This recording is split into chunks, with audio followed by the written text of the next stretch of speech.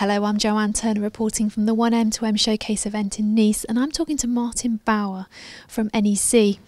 Martin, perhaps you can give us a bit of an overview of your demonstration that you have at the Showcase event here and some of the partners involved.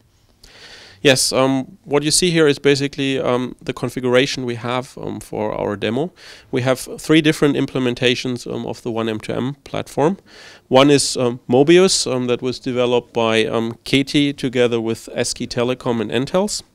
One is uh, from um, Convida Wireless, and the third one is from Fraunhofer FOKUS. So with this three applications, we want uh, three three implementations, we wanted to show um, the interworking um, of, of these. And we put um, two different um, applications on top of this. Okay, perhaps you can tell us a little bit more about the applications.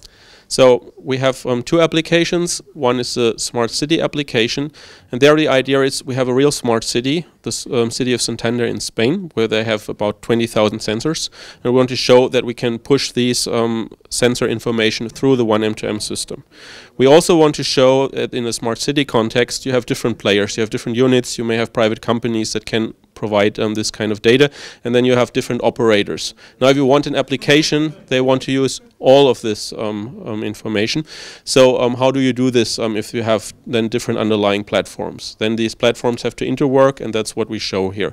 So the data that we produ produce from these sensors is pushed to the Mobius platform, whereas in the end the application that shows um, this information accesses the information through the Convida wireless um, platform, which then fetches the data from the Mobius platform and uh, returns it um, to the smart city application. The second application that we're showing is the drone application.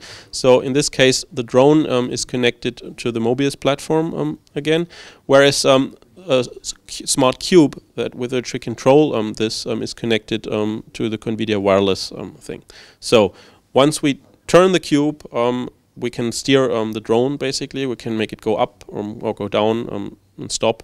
So here we again show how sensing can lead to actuation on, on, on the other side. Okay, so why are specifications like those from oneM2M important for the M2M and Internet of Things markets? I mean, if you think like, um, if you want to realize some applications um, like this, um, you will need a common basis which is not there today. So today we have a, lo a lot of verticals and if each of these platforms weren't um, um, following the standards, um, there would be no, way, no easy way of integrating um, these. You would have to do that on a case-by-case -case basis um, each separately. With a common standard, you have standardized interfaces and then the integration of these um, becomes much easier and thus it's also possible to realize applications such as this. Okay, thanks for your time today and talking to us. Thank you.